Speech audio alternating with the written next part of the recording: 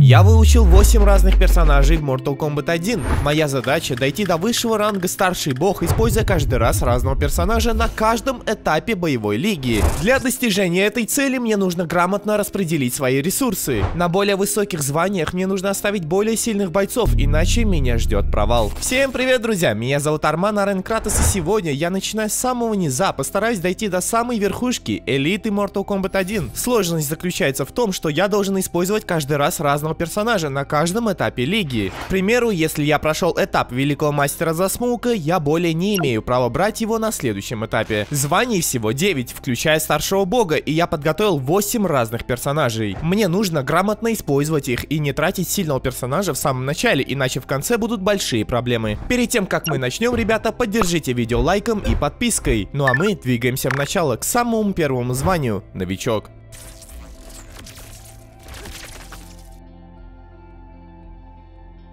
Моим первым персонажем будет Рейден в связке с Кану. И как вы можете заметить, у меня 0 очков. Мы в буквальном смысле начинаем с самого начала. И первым моим оппонентом становится этот парень, который будет играть за рептилию. Говоря про Рейдена, он считается одним из самых сильных персонажей в Mortal Kombat 1. Однако в моем случае это один из наименее сильных персонажей в моем арсенале. Конечно, есть персонажи, за которых я вообще не умею играть, так что Рейден это еще не такой уж и плохой вариант. И начинался матч под мою диктовку, никаких проблем проблем не было, потому что противники еще не такие сильные. Взяв первый раунд, я готовился провести второй раунд в том же ключе, но у меня возникли большие проблемы. Парень за рептилию оказался не так уж и плох, умеет делать комбо и при этом ловить меня на ошибках. Такое я явно не ожидал, расслабился или что, но раунд я так и проиграл. Немного офигев от происходящего, я хотел выиграть следующий. Но этот новичок за рептилию со статистикой 1 на 1 начал меня унижать. Просто посмотрите, какие комбо делает этот парень. Я, конечно, пытался камбэчить, но но безуспешно парень меня добивает, еще и бруталит. После этого я разозлился и в буквальном смысле включил режим киберспортсмена. Начиная со следующего боя, я не давал противнику отнимать даже половину здоровья, не то что забирать раунд. Это привело к доминантной первой победе. И следующий бой ничего не поменял. Видимо, этот парень потратил всю свою ману в начале. Так что первую победу я так и забираю. Следующий соперник найден, и в этот раз я не хотел проигрывать один бой. Поэтому режим киберспортсмена я решил включить с самого начала. И хоть мой оппонент играл зеркальный матч, шансов у него тут не было никаких. Да, у меня не так много часов за Рейдена, но у меня есть база, которая должна быть выше у ребят на звании новичок. Поэтому и данный оппонент проблемой никакой не стал. Это легкие 2-0.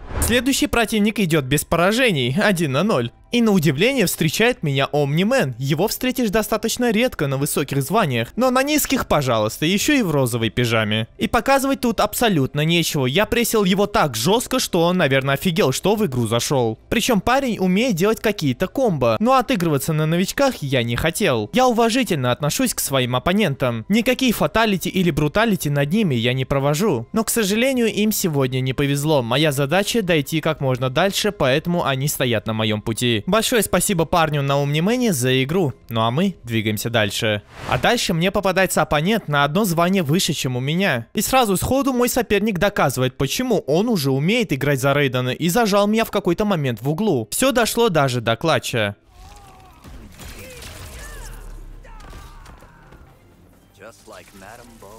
Так, а вот это уже интересно, подумал я. После такого раунда мне пришлось взять геймпад двумя руками и завершить то, что я уже начал. Взяв первую игру, мы тут же пошли играть следующую. И в следующей, вероятно, я немного перестарался. Я зажал оппонента так сильно, что я в буквальном смысле не дал ему даже себя ударить. Как итог, закономерные 2-0, никакого сопротивления. И то же самое я могу сказать про этого оппонента за Сабзиро. Вообще, драться против Сабзиро раздражает. Этот персонаж навязывает очень медленный темп игры игры, из-за чего приходится постоянно подходить и откусывать небольшое количество хп. Благо парнишка против меня не особо меня сдерживал, поэтому подключив прессинг на полную, я так и задавил его, не дав ему никаких вариантов вблизи. Это очередные уверенные 2-0, а мы забираем свои очки. Дальше я попадаюсь против очередного новичка, и он также идет без поражений, аж на одну игру больше, чем тот парень за Омнимена. И встречает меня очередная рептилия. Это очень интересный факт. Дело в том, что на высоких званиях вы редко встретите рептилию, ибо этот персонаж, ну, признаться говоря, не такой уж и сильный. Да, лучший игрок Sonic Fox считает рептилию достаточно сильным персонажем, однако практика пока что показывает обратное. И это показываю и я, добив своего оппонента без каких каких-либо проблем со счетом 2-0.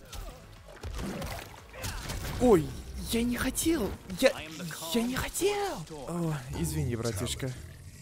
Рейден Далее мне попадается игрок за Ашу, это уже интересно. Сейчас, на момент этого видео, Аша один из самых сильных персонажей в игре. И я не знаю, в этом ли причина, но парень, который играл за Ашу, против меня играл достаточно ровно. Мне уже не было так легко, как в предыдущих играх. Порой мне приходилось менять стратегию на зонинг и просто доводить дело до конца. И вот, сыграв немножечко осторожно, я хотел уже завершить этот бой. Я взял матчпоинт и перешел в финальный раунд, как я думал. Но тут меня ждал сюрприз. Видимо, мой оппонент накопил ману и делал такие комбо, которые я видел в первый раз. Да, я вообще вижу, чтобы брали камео Соню вместе с Ашей. Это меня удивило, и раунд я так и проиграл. Но хорошо, что лишь раунд, ибо дальше уже никаких проблем не было. Это 2-0, но противники становятся сильнее. Следующий соперник найден, и это снова новичок. Я неспроста сказал, что оппоненты стали сильнее. Каждый из этих оппонентов умеет делать большие комбо. А я ведь вам напомню, это самое первое звание. Однако делать комбо могли не только они. Чаще всего мои противники сыпались в ближнем бою, ибо прессинг Рейдена новичкам был не по зубам. Как итог, это 2-0, и мы идем дальше. А дальше меня ждет матч на повышение. Выиграв сейчас, я перейду на звание боец. И как вы можете заметить, встречает меня Смоук. И начал я очень уверенно. Я взял первый раунд и собирался перейти во второй. Но во втором мой оппонент за Смоука начал показывать сверхкрутые комбо. Это все привело к клатч-моменту, где случилось это. Да, вот и засандалил мне апперкот. Мне нужно было быть аккуратнее. После такого я подумал, что мой оппонент хочет навязать плотную борьбу, как вдруг случилось это.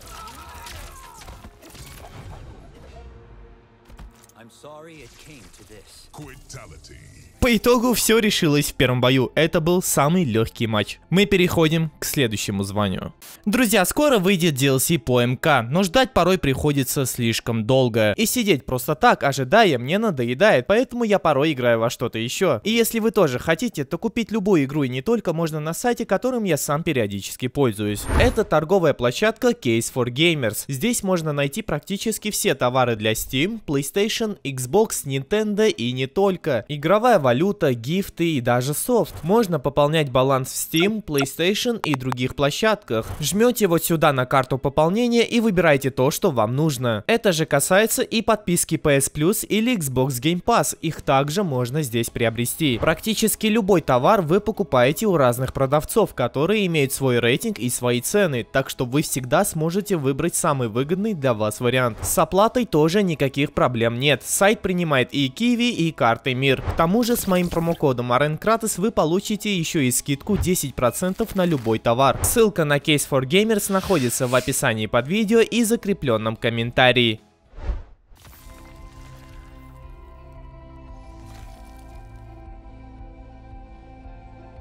Первый мой соперник шел с безумной статистикой. 8 побед на 42 поражения. Я уже готовился с ним сыграть, как вдруг я понял, что он вышел из боя. Я получил очки, даже не постаравшись. Что ж, почему бы и нет. По-настоящему первый бой был против какого-то Алекса. И Алекс тоже играет за Омнимена в розовой пижаме. Я же беру Гераса. Герас также считается одним из самых сильных персонажей в Mortal Kombat, однако в отличие от Рейдена он более сложный. Поэтому я не стал рисковать и оставлять его на более поздних званиях. Я решил потратить его сейчас сейчас. На втором звании люди уже умеют играть. Они не только умеют делать комбо, но также имеют представление об игре. Здесь же, например, выиграв первый матч, я перешел сразу же во второй. И каково было мое удивление, что мой противник адаптируется, применяет разные техники. Все дошло даже до клатча.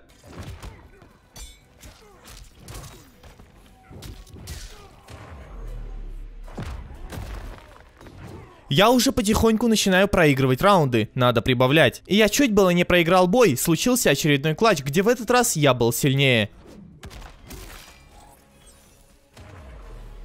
После такого я решил не жалеть своих оппонентов. И выйдя на матчпоинт, я так и завершил этот бой. Это 2-0, но не такие уверенные. Такими темпами до первого поражения недалеко. И посмотрите, кто мне попадается далее. Это не просто игрок на одно звание выше, чем у меня, это Вон Куан. Вон Куан старший бог в предыдущем сезоне Комбат Лиги. То есть, простыми словами, мне попадается такой же смурф, как и я. Это на самом деле очень плохо. Я боялся, что моего Героса не хватит против такого сильного игрока. И мои опасения не были напрасны, я сходу уже проигрываю первый раунд. В этот момент я понял, что здесь я не буду фаворитом. Но сдаваться я не хотел. Да, у меня меня мало опыта за данного персонажа, но я не сдавался и раунд откусывал. И вот, доводя все до клатча, случилось вот это.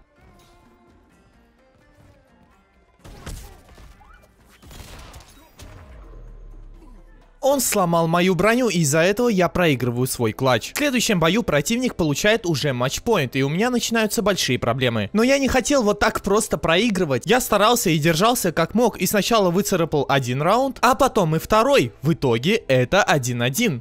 Но в следующем бою, к сожалению, мне не удалось повторить успех предыдущей игры. Мой оппонент играл за основного персонажа, а у меня же было слишком мало вариантов. И лишь по волю случая мы встретились так рано. Это мое первое поражение.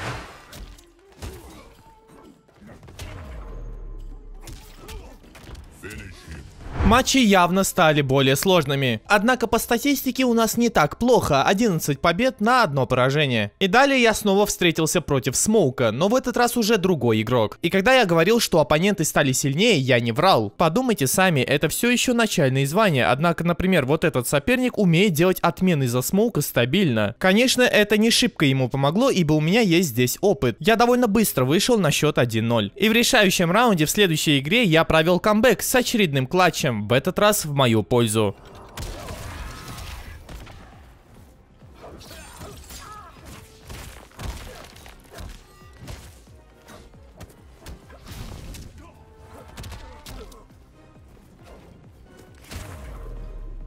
Это 2-0, мы двигаемся дальше. Дальше мне попадается парень с вопросительными знаками в нике. Сабзиро в желтом костюме это всегда опасно, я знаю на своем опыте. И как и бывает, когда играете против Сабзиро, это всегда нудно и долго. Сабзиро ставит свой клон и не торопится подходить, это раздражает. Все дошло до финального раунда, и против меня явно играл опять какой-то смурф, потому что я не верю, что новичок за Сабзиро будет так играть. И вот выполнив пафосное комбо со слайда, он меня добивает, причем брутально Алиф. Это меня нехило так разозлило. Вызов принят, сказал я и перешел в следующую игру, однако вначале мне не повезло.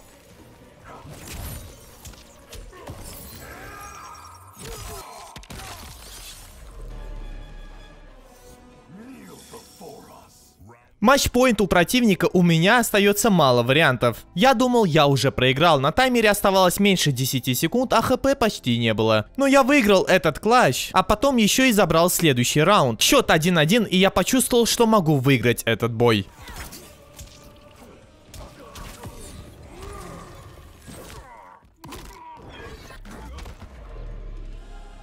Матчпоинт теперь у меня. Противник меня явно недооценил, он играл хорошо, но в клатчах я был сильнее. Это победа, и я выкарабкался из тяжелой ситуации. Следующий бой был на повышение против Джона. Осталось выиграть лишь Джона. И этот бой получился поистине легендарным. Против меня играет Синдел, один из самых противных персонажей. Что будет дальше, сейчас мы узнаем.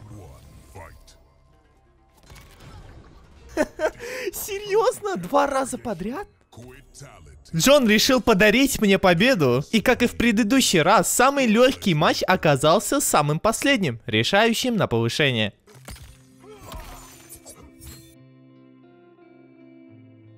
Сабзиро это мой следующий персонаж. А следующего противника вы видите на экране. Играя за Сабзиро, вы по сути гарантируете медленный матч. Персонаж ощущается как телега и считается одним из самых худших в игре. Но знаете, мне он подходит. Он защитный, имеет медленный темп, то что надо для меня. Что я в принципе и показал в первой игре, противник не выдержал мой напор.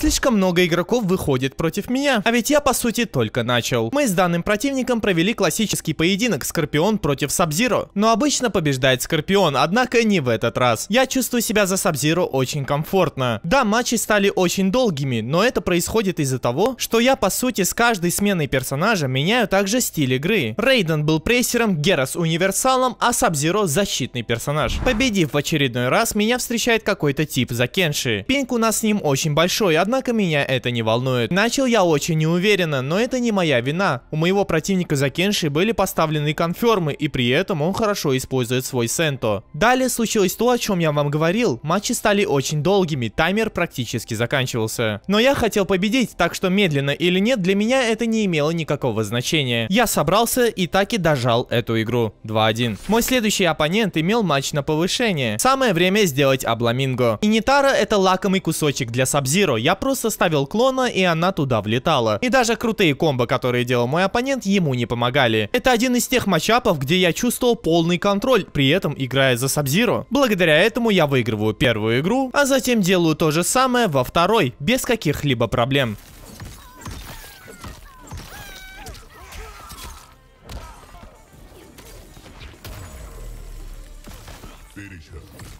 Я шел достаточно уверенно за Сабзиро, но потом мне попался вот этот игрок. Это был обычный игрок на рептилии, звезд неба не хватал. Причем я старался играть с ним более агрессивно. Благо инструменты для этого у меня были. Выиграв первую игру, я уверенно начал и вторую. Однако противник вывел все на клатч, и здесь я ошибаюсь.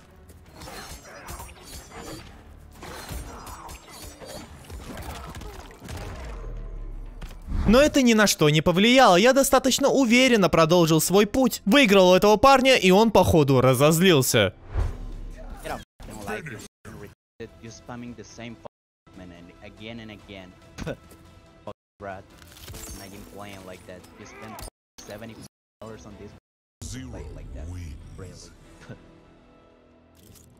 started, I mean, you're 86 and you play like being level 10.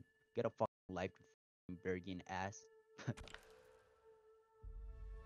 Imagine, I mean, you play like with your friends or something, right? Because you cannot be that bad, you I mean, you're not even that poor that you don't even have a mic. Get some food, you ass. I hope your mom gets scammed, you. Что-что, а за мексиканца было обидно вообще-то. Ну да ладно, 19-1 по статистике и противника вы видите на экране. Выглядит как легкая мишень. Наконец-то я смогу выйти на счет 21. Но черт побери, парень второго ранга меня просто уничтожал. Ранее я не получал такого сопротивления, однако этот парень знает матчап очень хорошо, наказывал каждого моего клона. При этом, в отличие от других игроков, у него была отличная защита, мне приходилось его раскрывать захватами. В итоге, как бы я ни старался, я не смог. Не смог в первой игре и не смог во второй. Это снова был какой-то профи под скрытым аккаунтом. Не повезло. Поражение этой китани отняло у меня много очков, потому что он был второго ранга. Но в тот момент я был позитивен. Я был уверен, что я быстро верну свои очки. Но парень под ником Баклан22, то есть Каплан22, играл так мерзко, что он в буквальном смысле зонял меня за лимей. А у меня было слишком мало опыта за Сабзиру, чтобы понять, что с этим делать. Буквально в каждом раунде этого матча у нас у обоих оставалось мало хп. После множества сыгранных клатчей я так и довожу до 1-1. Но в конце мне не везет, и я отдаю очень обидный камбэк.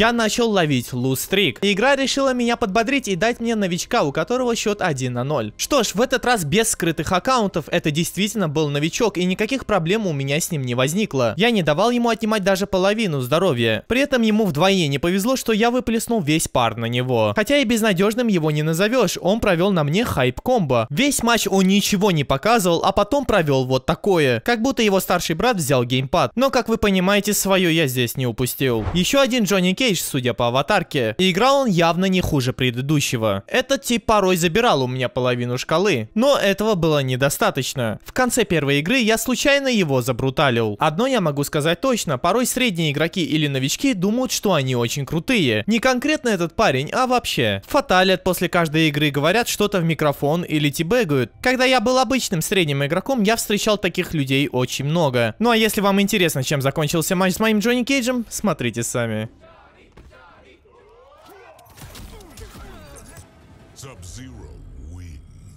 Я стал гораздо увереннее чувствовать себя за Сабзиру. При этом очков за каждую победу капает неплохо. С Нитарой раньше я уже играл, вы помните, чем это закончилось. Вот и здесь особых проблем у меня не возникло. В первой игре я быстренько взял первый раунд, а затем и второй. Во второй игре было все гораздо проще. Вообще я играю за Сабзиру в связке с Соней. Соня очень хороший выбор для Сабзиру, позволяет ему комбить со слайда. Плюс увеличивает урон с комбо и добавляет контроль в матче. Ну а тем временем, без каких-либо проблем, я дожимаю этого противника за Нитару. Следующий противник на экране. И, о боже, он играет за Сабзиру. Зеркальные матчи с Сабзиру это, наверное, самые худшие зеркальные матчи в игре, они самые унылые. Но для того, чтобы матч не был таким уж унылым, я играл в прессинге. Постоянно атаковал и оказывал давление, тем более мой противник не такой уж и сильный. Конечно, из-за этого я чуть чаще ошибался, потому что Сабзиру это не персонаж для атаки. Но самое важное, противник ошибался чаще. Это легкий 2-0. Осталось совсем немного поднажать, и мне попадается оппонент четвертого ранга с именем Ладичка. Это был Люкен, который бил меня очень и очень больно. Он достаточно уверенно выиграл первый раунд. Я же выиграл второй раунд, и в третьем решающем я уже сыграл так, как играет любой Сабзиро. Встал по другой конец экрана, ставил клона и зонил. Это принесло мне первую победу. Вторую же мне принесла та же тактика, но примененная в самом начале. Этот Люкан сам вынудил меня это сделать, так что 2-0.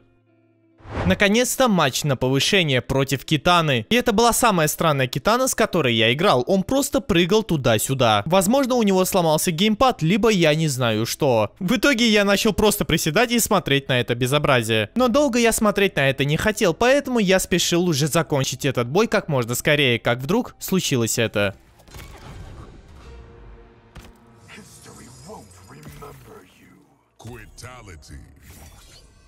Да, ребята, третий раз подряд в решающем матче оппонент просто выходит. Я сам не могу в это поверить, подумать только три раза подряд. Со стороны реально может показаться, что это подстанова. Мы почти на середине, четвертый ранг и пора сыграть за Кунглао. Вообще, по моему мнению, Кунглао это самый недооцененный персонаж в игре. Наряду со Скорпионом, естественно. У него есть опции, которые есть только у него. Безопасная броня, выводящая на комбо. Постоянный миксап из каждого касания. Это идеальный выбор для достижения наших целей. Однако, несмотря на это, первый бой против этого оппонента я так и проиграл. Видимо, долго привыкал. Однако, начиная уже со второго боя, я начал чувствовать себя комфортно. Достаточно уверенно выиграл первую для себя игру. В финальной же игре я начал действовать еще более уверенно. Подключил миксапы, не стал попадаться на дешевые разводки Рейдена и, пожалуйста, это достаточно уверенный 2-1. Если честно, поиграв за Кунглау, я захотел его сделать основным персонажем, настолько он мне понравился. Если вы мне доверяете и ищете персонажа, который является одним из самых сильных, но при этом про него никто не говорит, то Кунглау это ваш выбор. Все будут думать, что вы играете за среднего персонажа, когда у вас в руках секретный топ-тир мир. И как вы понимаете, в первой игре было все легко. Этого Джонни Кейджа я скушал на завтрак и на обед. Это 1-0. И вот только я захотел поужинать, я забираю очередной раунд, как вдруг мой противник просто ни с того ни с сего выходит из игры. Даже не пришлось стараться, игра зависла, а мы двигаемся дальше. И вот как только я подумал, что я поймал кураж, мне попадается противник на два ранга выше, чем я. Причем посмотрите, у него шанс повышения рейтинга, хотя по очкам это не видно. И как обычно встречает меня противный геймплей за Китану. Парень меня просто-напросто зонил. Я очень долго не мог понять, что мне с этим делать именно за Кунглао. Пару раз использовал армор, и это мне помогало. С горем пополам я выигрываю первый раунд для себя. Второй раунд я также умудрился забрать. Я загнал противника в угол и не отпускал его оттуда. Однако я все равно чувствовал себя не очень уверенно, было тяжело подходить. И мои опасения были не напрасны, я отдаю очень обидный камбэк. И когда хп с оппонентом у нас поровну, он начинает меня просто зонить. И к сожалению, сожалению, опыта за Кунглао у меня очень мало, и я не понимал, как этот зонинг преодолеть. Но я держался, я старался, я выиграл раунд и сделал фатальный удар, где все решится в клатче.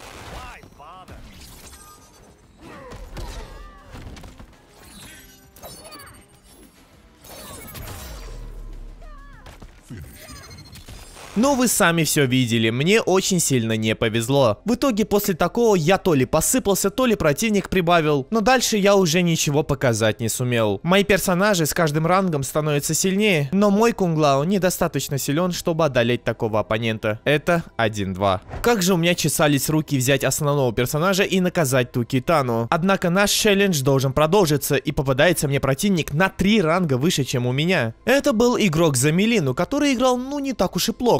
Здесь была достаточно плотная борьба. И мой план на игру был, как и всегда, загнать противника в угол и там его добить. И в первом раунде с этой задачей я успешно справился. Во втором все дошло до клатч момента и мой опыт здесь зарешал.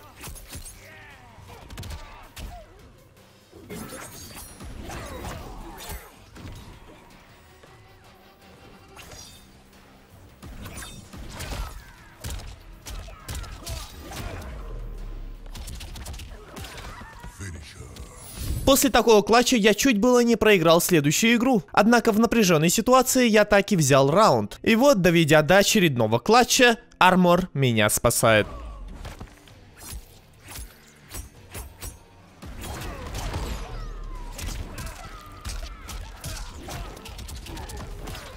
Это 2-0, но было близко. Победа над полубогом дала мне много очков, но мне продолжают попадаться игроки на два ранга выше, чем у меня. Почему такое происходит? Возможно, игра видит, что у меня хорошая статистика. Сыграв против очередной Мелины, это мне показалось немного скромнее. Первый бой я забрал без каких-либо проблем.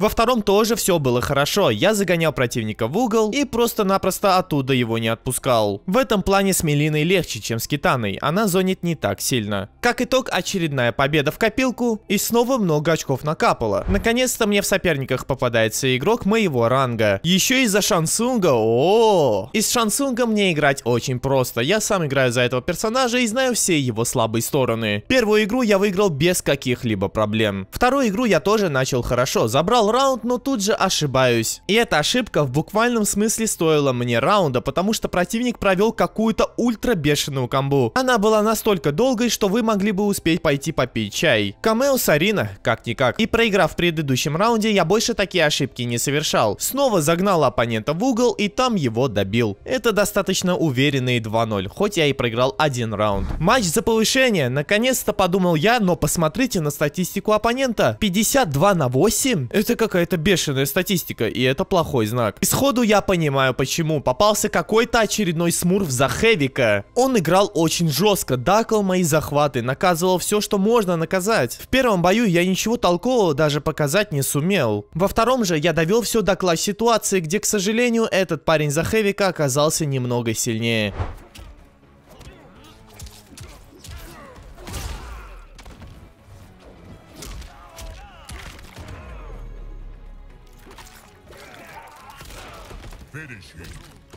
Обидное поражение, но я сам все подропал. Жаль, что он мне попался. Однако за поражение у меня не отняли много очков, потому что у парня был ранг гораздо выше. Мне все еще нужно выиграть всего один матч, и тогда я выйду в следующий ранг. И проигрывать два раза подряд я не хотел, поэтому я был сфокусирован. Оппонент на Омнимене держался достойно, даже выиграл у меня клатч. Но все заканчивалось, когда я загонял в угол. Угол Кунглау это, наверное, одно из самых опасных мест в Mortal Kombat. Так, благодаря этому я выигрываю первую для себя себя игру. И во второй игре я снова загоняю в угол, только уже в другой. Взяв раунд, я вышел на матчпоинт. И в конце у соперника остается слишком мало хп, поэтому здесь я забираю, и мы выходим вперед. К следующему званию и следующему персонажу.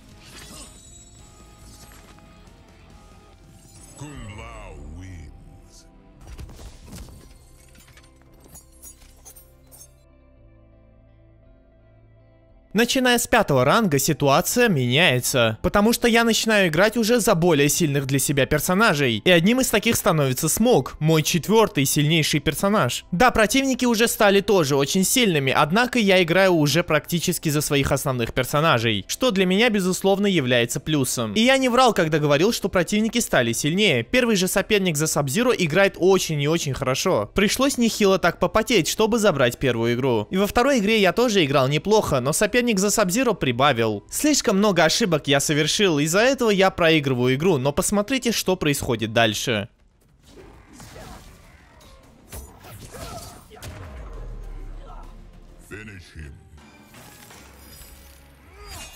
Вы тоже это видите? Он меня фаталит после первой же победы, когда счет 1-1? Я серьезно поражаюсь людям в боевой лиге. Это порой такие личности, которых вы никогда не встретите в реальной жизни. Они ведут себя очень странно, и когда я его победил, я даже фаталить не стал. Просто шел вперед, дав понять, что он дурак. Дальше меня ждал тип со статистикой 62 на 20. Это снова плохой знак. И я это понял с самого начала. У меня не получалось к Люкану подходить, а когда подходил, то подводила реализация. Из-за этого мой соперник на Люкане довольно уверенно выиграл для себя игру. Это было неприятно. И во второй игре снова подводила реализация. Я играл неплохо, брал преимущество каждый раз, но каждый раз я отдавал камбэк. В итоге оппонент провел на мне смертельную камбу, и я от этого умер. Я проигрываю 0-2, и это, наверное, самое быстрое поражение в этом сезоне боевой лиги. Но унывать я не стал, я знал, что я проиграл игроку на ранг выше, чем мой. Так что очков я потерял немного. И посмотрите, я снова встречаюсь против Сабзиро. И вот снова начинается это уныние. Матчи до красного таймера, постоянные отходы назад, зонинг. Это все очень раздражало, благо у меня было терпение. Плюс ко всему прочему, выиграв первый раунд, во втором я зажал в углу и не давал ему по сути зонить. Так что это помогло мне взять контроль в матче. Во второй же игре мне тоже удалось это сделать, хоть и не сразу. Благо Смок в этом плане очень хорош. Это прессер персонаж, и для него загнать в угол это не проблема. Выиграв первый раунд, снова начинается это уныние. Вы можете заметить, что на таймере остается 30 секунд. А ведь у нас еще более 30% здоровья. Но сейчас будет, конечно же, поменьше, когда я проведу полное комбо. И вот даже когда остается на таймере 10 секунд, я не понимаю, что делает мой оппонент. Он прыгает туда-сюда, делает какую-то дичь. Я же на все это смотрю и не понимаю, понимаю, что делать, потому что это все непредсказуемо, поэтому заканчивается время, и в этот раз оно не в пользу Сабзиро. Победил Саба его же оружием. Авада Кедабра, мой следующий оппонент, причем посмотрите, на два ранга выше, чем я. За победу над ним мне отсыпят очень хорошо. Но победой пока не пахнет, оппонент за Джонни Кейджа играет очень и очень сильно. Я это на себе не раз почувствовал, я играл в защите буквально весь матч. Но при этом я не сдавался, я верил, что можно победить. Мы с этим чуваком обменялись раундами. Сначала выиграл я, а потом он. Но в финальном третьем раунде я решил подключить свою силу. И в буквальном смысле атаковал без перерыва, постоянно используя невидимость и Канобол. Это дало мне победу в первом матче. Но во втором произошло то, как обычно мы называем «не пошло». Слишком жестко стал играть этот Джонни Кейдж, постоянно бросал меня в разные стороны, да и на прессинг быстро отвечал своим перри. Я был к такому не готов, поэтому счет стал 1-1 довольно быстро. Я уже думал, что мне ничего не светит, как вдруг я начал понимать слабые стороны моего оппонента. Он очень плохо контрит мои тычки. Каждая такая тычка давала мне ход, который я реализовывал. Это случилось сначала в первом раунде, а потом и во втором, когда я зажал Джонни в угол. Я начал делать одно комбо за другим. В тот момент я почуял, что могу выиграть. И почуял не зря, хоть оппонент пытался откамбэчить, с помощью прессинга я его добиваю. И это 2-0. Еще один парень с вопросительными знаками, в этот раз полубог. И играет этот полубог, разумеется, за Рейдена. Я не знаю, почему люди ставят вопросительные знаки свой никнейм. Возможно, это какие-то известные игроки учат нового персонажа и не хотят палиться. В любом случае, меня это не касалось я просто делал свою работу. Изначально я выиграл с хорошим преимуществом, однако я позволил ему провести финальное комбо. Но благо оно меня не добило, и я этот раунд свою пользу завершил. Следующий раунд начался в два этапа, я снова имел преимущество. Однако во втором отрезке я зажался в угол, и противник меня прессил. Ему удалось отнять половину моих хп. Но как только я выбрался из этого проклятого угла, я смог дожать. Это были достаточно уверенные 1-0, и я готовился переходить к следующей игре. Но готовился, видимо, лишь я, потому что мой оппонент решил забить и просто выйти из игры. Воу, подумать только, полубог выходит после первого боя, это редкость. Просто посмотрите, сколько очков мне осталось до следующего звания, буквально одно, судя по шкале. И стало очевидно, что следующий матч будет за повышение против какого-то парня со статистикой 72 на 70. Это игрок за Умнимена, и его я начал прессить с самого начала. Я хотел дойти уже до следующего звания и перейти к следующей главе. И когда у нас у обоих оставалось мало хп, я сыграл клатч, где наконец-то выиграл. И я бы уже добивал, но сделал самую тупую камбу, которую только мог сделать. Я забыл, что это не коннектится. В итоге я дал возможность оппоненту вернуться в игру, и это было плохо.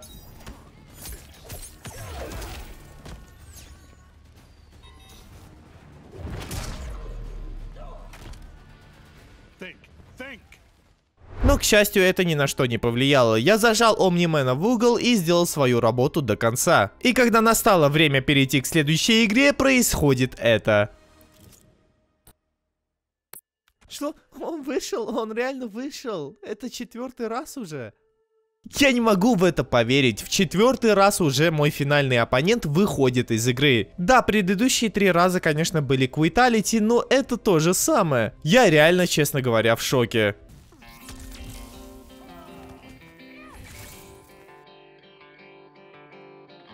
Начиная с великого мастера, я попадаю во временную петлю. Именно на этом звании я перестал получать много очков. Я выиграл соперников одного за другим, одного за другим. Но я также почти не двигался вперед. Победив данного парня за Омнимена, я перешел сразу к следующему. Причем противники были достаточно неплохими, они играли хорошо. Однако Ли Мэй сейчас является одним из моих основных персонажей. Мне не то что было комфортно, именно за Ли Мэй я уже показывал, что я являюсь фаворитом в каждом матче. Победив этого парня за Джонни Кейджа, он попадается мне снова. И снова без шансов. Я начал закрывать всех игроков примерно за 3-4 минуты. Игры стали рутиной. Это действительно позволило мне расслабиться, однако вперед я двигался очень медленно. Причем неважно, кто против меня был. Вот, например, игрок с отличной статистикой 91 на 32. Но даже он ничего не мог сделать. Я наносил огромное количество урона и просто зажимал в углу. Ни один великий мастер не мог одолеть мою Лимей. А вот еще один игрок за Кенши, но снова снова безуспешно для него. Наверное, я ждал настоящего испытания, противника, который будет на один-два ранга выше, чем я. Может быть, какого-то полубога или бога, или даже старшего бога было бы отлично. Но, как я и сказал, соперники попадаются не такие сильные. И только я это сказал, попадается в противниках полубог с хорошей статистикой. В этот раз противник берет у меня раунды, однако до игр не доходило. Данного игрока я обыграл уже не за 3 минуты, а примерно за 4, и тоже со счетом 2-0. Но и очков прибавил понравилось уже, наконец-то. Я поймал какой-то бешеный винстрик. Не проигрывал очень долго, при этом выигрываю всех подряд. Этот парень за рептилию тоже стоял на пути. Вообще мне стоит сказать, что Лимей это отличный персонаж для таких вещей. Она невероятно быстро закрывает раунды. Я заканчиваю матчи буквально за 3-4 минуты. Если бы я играл за условного Сабзиро, эта цифра была бы в два раза больше. Не хочу показаться высокомерным, но в какой-то момент мне действительно стало скучно. Я уже даже стараться перестал, потому что противники не оказываются оказывали никакого сопротивления.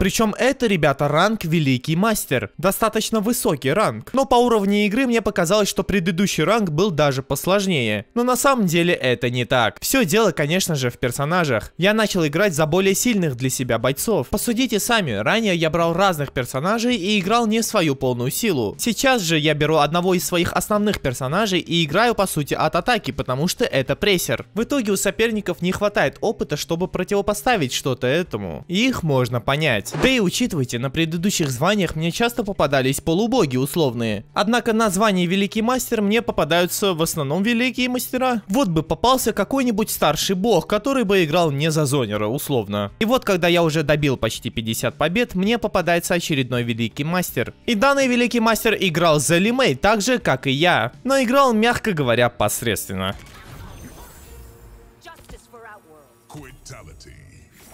Спустя два часа я наконец немного продвинулся. Но все еще было далековато, нужно было играть и играть. Все из-за того, что в противниках попадаются великие мастера. Если бы мне попадались всякие боги, полубоги, то я бы очков набирал быстрее. Но нет, великие мастера. 58 на 18, обалденная статистика. Однако снова ничего выдающегося. Скорпион, которого я победил без какого-либо труда. Данный эксперимент, кстати, еще и доказывает, что больше всего игроков это великие мастера. Причем данный тип за Скорпион Скорпиона попался мне снова и чуть было меня не выиграл. Я забрал напряженный клатч, когда уже счет был 1-0 в пользу него. Парень явно хотел взять реванш. Но реваншем даже не пахнет. Это снова победа, снова уверенно, ну а мы продолжаем свой путь. И вы не поверите, снова он. Парня за Скорпиона стало даже мне немного жалко. Почему мне попадается постоянно он? Тут два варианта. Либо он меня специально снайпит, либо просто нету других соперников. И мне кажется второй вариант, потому что если бы были, мне бы попадались другие другие игроки, например, полубоги или боги. В любом случае, это 2-0. И что ж ты будешь делать? Опять он? Я ненавижу эту игру уже. Я не знаю ни одну рейтинговую игру, где вам бы попадались 4 одинаковых игрока подряд. Назовите, если такую игру знаете. Без преувеличений, мы с этим парнем играем уже буквально час. Мне кажется, это надоело не только мне, но и ему. И наконец-то мне попадается кто-то другой. Да, снова великий мастер, но хотя бы другой. Это как-то разбавляло геймплей после трех часов игры подряд за Лимей. В тот момент мне было правда очень скучно. Я хотел уже перейти к следующей главе и пойти спать. И далее попадается он. Это шанс полубог, шанс на повышение. И все было бы отлично, но чертовая Китана. Если у Лимей и есть неудобный противник, это Китана. У нее длиннее удары, лучше зоник, я в буквальном смысле не мог даже подойти. Добавок к этому я даю еще и очень обидный клатч. Проиграв первую игру, я надеялся, что выиграю во второй. Выиграл раунд, все было в кармане. Но эта Китана меня зонила, а потом зажала в угол, где я ничего не смог сделать. Мой винстрик здесь прервался. После такого обидного поражения мне начали попадаться игроки на ранг даже ниже, чем я. Очень неприятно устроен рейтинг в Mortal Kombat 1. По сути, я два часа играл против достаточно средних игроков, но как только попался сильный игрок, то я не был к нему готов. Эту проблему можно было бы решить, если бы ранг у игроков не обнулялся, однако он обнуляется каждый сезон боевой лиги. Я почти добрался до полубога, осталось буквально пару матчей. И Герас против меня попадается очень редко, хотя персонаж сильный, как я уже говорил ранее. Но конечно, я уже очень сильно хотел продвинуться дальше. Я чувствовал, что будто застрял на одном и том же ранге. Очки почти не капают. И вот, наконец-то, шанс на повышение. Финальный матч против какого-то Джоша со статистикой 55 на 17. Осталось включить полный фокус, как вдруг я узнаю, что мой противник выходит из игры. Я не могу в это поверить. Это серьезно происходит уже который пятый десятый раз. Как? Просто как такое может быть? Это какой-то тикток тренд у МКшеров или что? В любом случае, я рад, что эта временная петля за Лимей закончилась.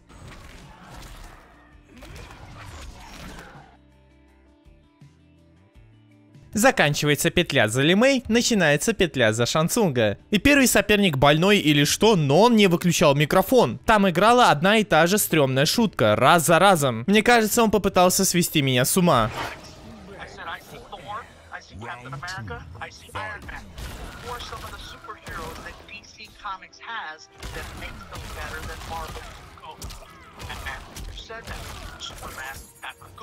Короче, я его быстро выиграл, чтобы эту дичь не слушать. Теперь почти все соперники, которые мне попадаются, сильные. Но я играю чуть ли не за своего основного персонажа, поэтому мне достаточно комфортно. Да, порой я отдавал обидные раунды, обидные игры, как, например, здесь. Но в целом проблемы возникали достаточно редко. Странные ребята мне попадаются. Этот парень после первой же игры решил сделать на мне фаталку. Говорить, что из этого вышло, наверное, мне не стоит, вы же сами понимаете. И го-го-го, посмотрите, кто мне попадает попадается. Это же наш обидчик за Китану, вы же помните его? Теперь я играю за своего основного персонажа, друг мой. Я же помню, что этот тип меня не очень долюбливает, делает на мне фаталити или бруталити каждый раз. Что ж, я решил преподать ему урок, чтобы он больше так не делал.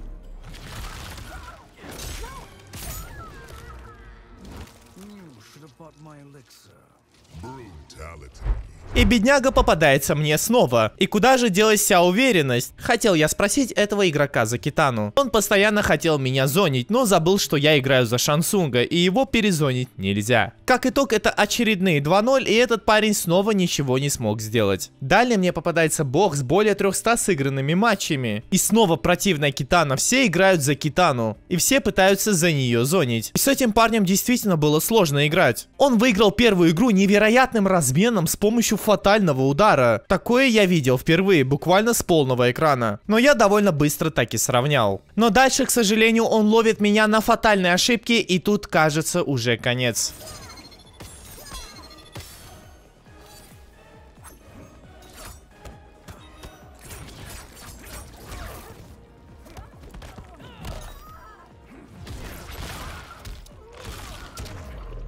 Уху, вот это кумибачи, как я называю. Это камбэк буквально на пикселе. После такого, если честно, уже было все предрешено. Я свое уже не упустил. Далее мне попадается очень интересный соперник. Это тоже игрок за Шансунга. И у него был включен микрофон, оказывается он очень позитивный парень. Когда я его выиграл, он посмеялся и сказал ГГС.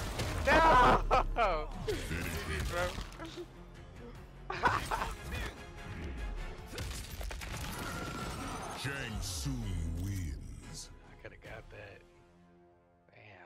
Шанс понижения у моего следующего оппонента, но мне на это, если честно, все равно. Против Хавика играть очень неприятно, он достаточно противно играет. Но Шансунг чувствует против него не так уж и плохо, так что проблем никаких не возникло. Это очередные 2-0. И вот я со статистикой 63 на 7 встречаю следующего соперника. И посмотрите, как мало мне дадут за выигрыш. Это был старенький Барака в связке с Сайрексом. Эта сборка была актуальна раньше, но, наверное, сейчас все предпочитают играть за Бараку в связке со Страйкером. 2-0. После более часа игры мне попадается Джошуа, наконец-то. Будто бы я знаю, кто это. И Джошуа довольно неплохо шпилит за Милину. А я довольно неплохо зоню и не подпускаю к себе. Показывать тут, ребята, к сожалению, нечего. Я снова выигрываю и без каких-либо проблем. Далее мне попадается игрок на один ранг меньше, чем у меня, и статистика у него достаточно спорная. Я уже собирался выиграть первую игру, как вдруг парень делает фатальный удар и забирает у меня клатч. После этого он меня зажал в углу и проводил одну комбинацию за другой. Я очень быстро слил. Во второй игре я вернулся, но было очень потно, буквально до последних пикселей. И в финальном решающем раунде игра послала меня куда подальше, и я не сумел наказать то, что я должен был. А противник в итоге наказал, мне очень сильно не повезло, и я проигрываю этому парню. Подумать только, одно поражение откидывает вас так далеко, причем за победу вы почти ничего не получаете. Это по сути то, как работает рейтинг в Mortal Kombat. Он в буквальном смысле сломан и требует доработок. Я думал, я снова проиграю, однако я сумел выцепить клатч против этого игрока за Ашу, применив комбо с фатальным ударом. Далее мне попался один из самых странных противников под именем Кенни Киллер. Он ныл на протяжении всей игры.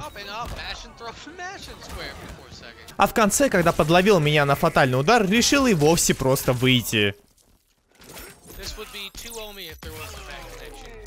I'm not playing you. You can watch this. Да, боевая лига Mortal Kombat это отдельный мир. Только непонятно, мир людей или животных. Кого в боевой лиге только не встретишь. Но благо в этот раз попадается обычный игрок на Шансунге, который, кстати, играл не так уж и плохо. Но понятное дело, зеркальный матч я играю достаточно хорошо, поэтому проблем у меня здесь не возникло. Мы идем дальше. Дальше попадается Soul Warrior, полупро игрок. Я ненавижу с ним играть. Матчи с ним это постоянная беготня и красный таймер. В какой-то момент у меня просто заканчивалось терпение, и я проигрывал по таймеру. Плюс каждый раз с полного экрана влетает какой-нибудь дурацкий слайд. Без шуток, я играл с ним уже более 15 минут, это задолбало. Каждый раунд длился практически 90 секунд. У меня не было настроя вот так играть и догонять постоянно, поэтому я постоянно спешил, и в итоге я отдал игру. Сам виноват, у меня не хватило терпения. Очередной Джонни Кейдж, очередной полубог. И не хочу ничего говорить, но против Джонни Кейджа я чувствую себя достаточно комфортно. Возможно, потому что мне удается рвать броски, а Джонни Кейдж очень зависим от этого. Как итог, это 2-0. Парень брал раунды, но до игр не доходило. Я все еще доволен своим винрейтом. 69 на 9 это очень хорошо. При этом, учитывайте, соперники играют очень хорошо. Мне действительно приходится потеть против каждого. На полубоге играют толковые ребята, они умеют играть. Но как мне все равно удается удерживать такой винрейт? Неужели пропасть между мной и каким-нибудь рядовым полубогом такая огромная? На этот вопрос я не знаю ответа. И снова тот тип за Саб-Зиро, но присмотритесь внимательно. Он ранга бог, за него дадут много очков. Это значит, что в этот раз я буду максимально сконцентрирован и сосредоточен. Я хочу взять эти очки любой ценой, даже если придется ждать целого таймера. На самом деле так оно и было. Менее 10 секунд на таймере и оставалось уже совсем чуть-чуть. Плюс я уже не раскрывался от таких дешевых разводок с оверхедом. И выйдя на матчпоинт в следующей игре, я снова играл в догонялки, но в этот раз более успешно. Это победа над богом, которая дала мне много очков. То, что надо. И неужели удача решила повернуться ко мне? Но не задом, а лицом. Очередной бог. При этом этого парня я знаю. Это один из лучших игроков за смоука, что я встречал. Вот, вот это уже была по-настоящему профессиональная игра. У нас постоянно были напряженные ситуации, близкие моменты. То я выигрывал, то он. Первая игра ушла за мной, когда он ошибся в моменте и позволил мне совершить комбо. Но вторая игра уже была за ним. То, какие он разводки делал с невидимостью, я к ним не был готов. Чистая угадайка 50 на 50. В третьей игре все стало снова напряженно, но я его перебил в ключевом моменте. Сделал апперкот под его невидимость, а потом броню. И вот у меня остается менее 30% здоровья, время для камбэка.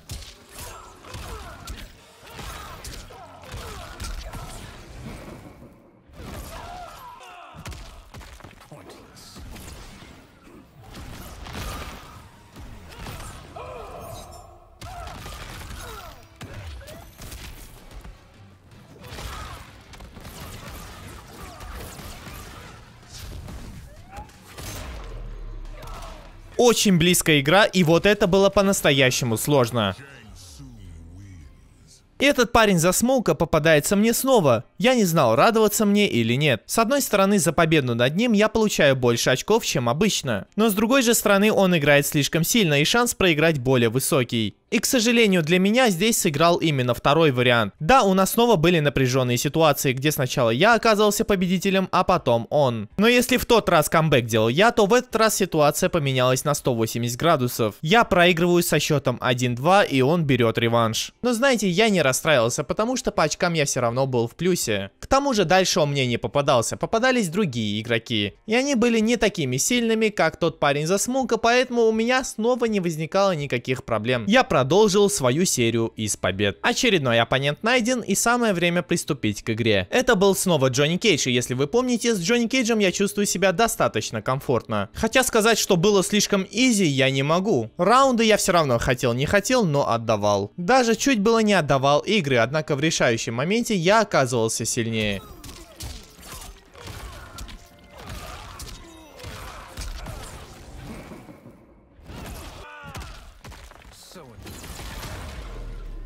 Это 2-0, двигаемся дальше. И как же жаль, что не попался нам еще ни один старший бог. Но то ли будет еще время, ведь так? Игрок под ником Шаркадин, мой следующий оппонент. И играет он, кстати, за Рейко в связке с Тремором. Наверное, лучший камео для Рейко. Но парень не был даже полубогом, проигрывать ему было нельзя, иначе я бы улетел далеко по очкам. Следующий соперник найден, и я готов приступать к игре. И это был самый обычный игрок за Хавика, которого я просто-напросто зонил, либо же контратаковал, где наносил много урона урона. И когда я его победил, парень сказал, что я смурф. Якобы я какой-то ноунейм создал новый аккаунт и зонюсь за Шан Цунга. Хотя это мой основной аккаунт, даже мой ник прописан.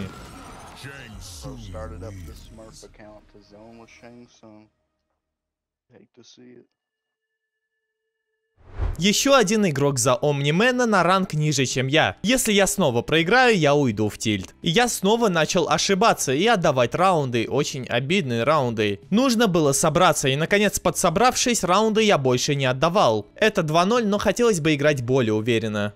Осталось совсем чуть-чуть, я чувствую это, причем попадается парень с аватаркой Кенши. Но это все иллюзия, он играет за Рейна. И не сказать, что он показывал что-то особенное. Да нет, в принципе все было легко и просто, хотя и потеть приходилось. Это очередная победа, ну а мы двигаемся к финальному матчу за Шансунга. И кажется мне повезло, шанс за повышение попадается тот же парень. И если он тоже в конце выйдет, то я реально уже не знаю, что буду делать. Но нет, он доиграл свой матч, при этом играл гораздо лучше, чем в предыдущий раз. Однако для него это было недостаточно. Мы выигрываем эту игру и наконец доходим до предпоследнего звания. Бог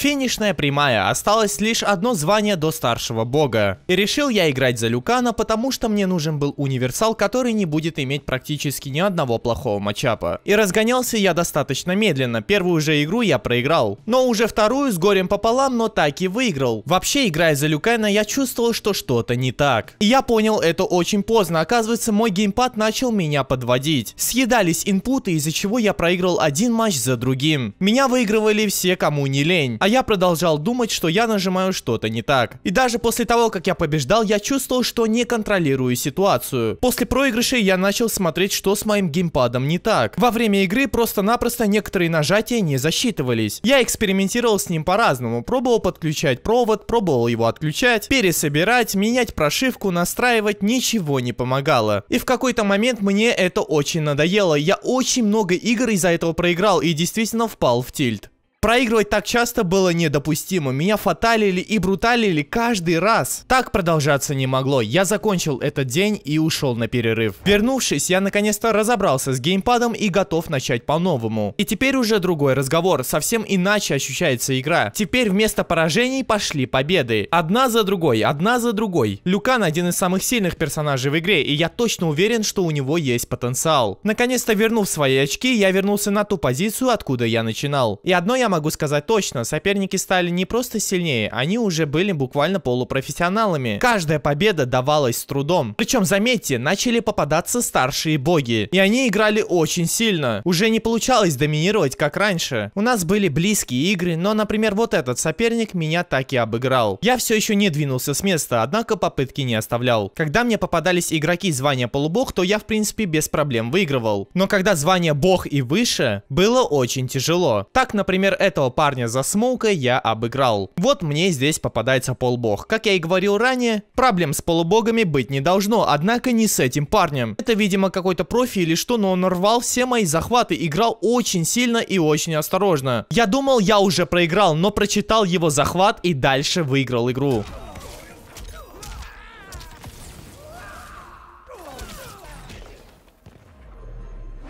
Oh. What's up, bro? I watch um I watch you play in uh in tournaments and shit, bro.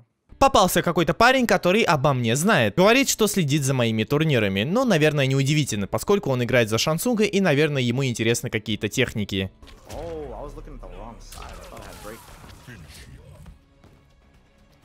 Wow, GG, bro. Oh, long time no see. What's up, fam?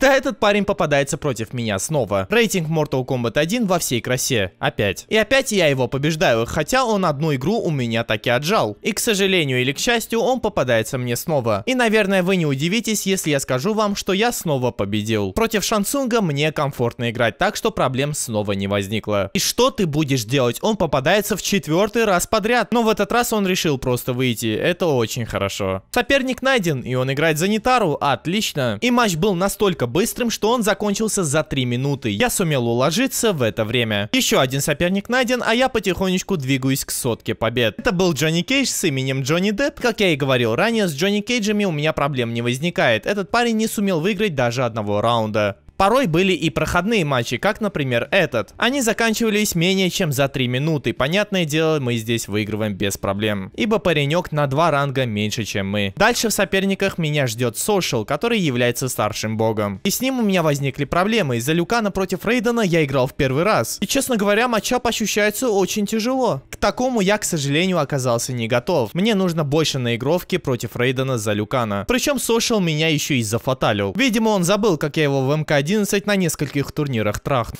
Мне нравится, что начали попадаться ребята уровня бог и выше. Не то чтобы с такими интереснее играть, а за таких дадут больше очков. Вот из-за данного генерала Шао мне насыпало не так уж и мало. Так что это хорошие новости. Еще один старший бог, наш приятель Вэл. Если честно, против Синдел я не умею играть от слова вообще, но я ничего не терял, поэтому отклонять его не стал. Если я даже проиграю, мне не снимут много очков, потому что противник выше рангом. А если я выиграю, то мне дадут очень много много очков. И хоть раунды я брал, этого было недостаточно. Я очень плохо играю против Синдел. Сижу в блоке и не понимаю, где можно вставиться. Это поражение, но оно никак меня не подкосило. Я просто продолжил свой путь. А далее мне попадается Fooled Punk. Американский игрок, который также выступает на турнирах. И с Fooled Punk была очень неприятная игра. Он играл за рептилию так странно, что я к этому очень долго привыкал. Мы разменялись раундами, разменялись играми, но в конце я дропнул победное комбо. Я дурак. Меня сразу же за это наказали, это было обидное поражение. Но с фулпанком я попался снова, и у него был матч на повышение, кстати. В этот раз все тоже дошло до последнего раунда, однако ошибок таких я уже не совершал. Я спокойненько закрывал матч, как вдруг случилось это.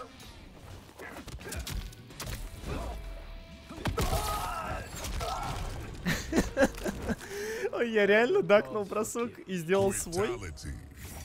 Следующий матч был против полубога. И как и Фулдпанк, этот парень решил не ждать и просто выйти. Эх, слабаки. Очередной старший бог, в этот раз Китана Кан. И учитывая опыт с валом, я хотел этот матч отклонить. Однако такой возможности у меня уже не было. Но в этот раз меня встретила уже не Синдел, а Китана, и я не знаю, что хуже, если честно. С Китаной я играю уже гораздо лучше, чем Синдел. То я забирал раунды, то он. Но в конце концов я просто проигрывал зонинг. И в двух решающих раундах я уступил. Соперник Соперник найден, и неужели это будет Сабзиро? Конечно же нет, на этом ранге Сабзиро это редкость, поэтому будет Омнимен. И с этим Омнименом я сыграл со счетом 2-0. Было не так просто, но не сказать, что было прям сложно.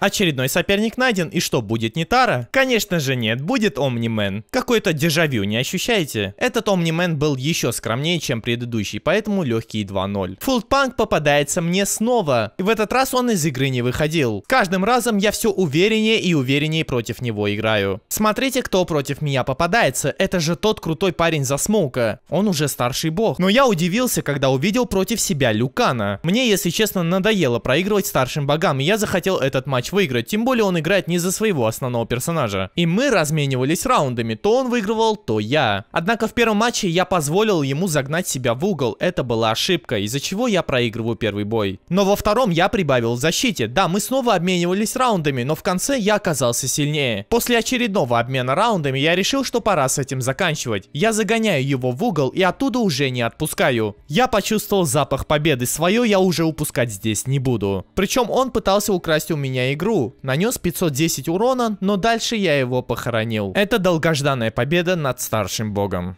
Дальше мне попадается парень под именем Nexus, я как будто его где-то уже видел. У него был голос как у какого-то ютубера. Возвращайся в офлайн, говорит этот парень. Он меня явно знает. Особенно это стало очевидно, когда он сказал мне переключиться на Шансунга. Он хочет якобы посмотреть на него. И я собирался его показать, но он решил из игры выйти. Что ж, это его выбор. Ну а мы двигаемся дальше. А дальше попадается парень с именем Страйкер с хорошей статистикой. Как вы понимаете, никакого Страйкера здесь не было. Это был Рейн в связке с Кунглао. Играл он очень неприятно. Он ставил ауру и постоянно меня зонил, отходя назад. Матчи с ним были очень долгими. Все дошло снова до последнего раунда, где я, к счастью, вытащил клатч. Это было напряженно, но проигрывать было нельзя. Осталось совсем чуть-чуть. И посмотрите, кто мне попадается. Старший бог Занитару. Это мой шанс. Выиграв его, я продвинусь далеко вперед. И как же жестко я его прессинговал, не давал ему вообще никакого покоя. Даже полетную зону ему закрыл с помощью шляпы Кунглао. Это на удивление были очень быстрые 2-0, где я не дал ему ничего сделать, а очков при этом за него накапало нехило. Далее я решил только прибавить. Против меня попался добротный Люкан, он играл хорошо, выцеливал у меня раунды. Но в концовках я принимал более острые решения, которые помогали мне выигрывать. Даже тут, проигрывая ПХП, я умудрился откамбэчить, хотя и чувствовал, что должен был сделать это раньше. Это 2-0, не так легко, но в принципе достаточно уверенно. Далее мне попадается игрок на Тане с хорошей статистикой. И играл он действительно хорошо, поэтому я решил его просто-напросто зазонить. Иногда, ребята, приходится играть грязно, если вы хотите достичь своих целей. Тем более мне можно, я уже 3 часа тру этого люкана, хочу уже закончить начатое. Побеждаем в зонинге, побеждаем 2-0. И вы не поверите, мне снова в противниках достается игрок на Люкане. И как и с остальными игроками на Люкане, мы обменивались и раундами, и играми. Но каждый раз в зеркальных матчах против Люкана в конце я побеждаю. И разумеется, ребята, мне в этом плане везет. Это 2-1, а мы двигаемся дальше, к последнему матчу на сегодня. И мне было уже все равно, что это старший бог. Я хотел закончить здесь и сейчас. Это был добротный игрок за Ашу, однако я подключил свой максимум. Я не давал ему покоя на каждом участке карты. Там, где надо пресил, там, где надо зонил. В итоге это привело к долгожданной победе, которую я отметил фаталкой.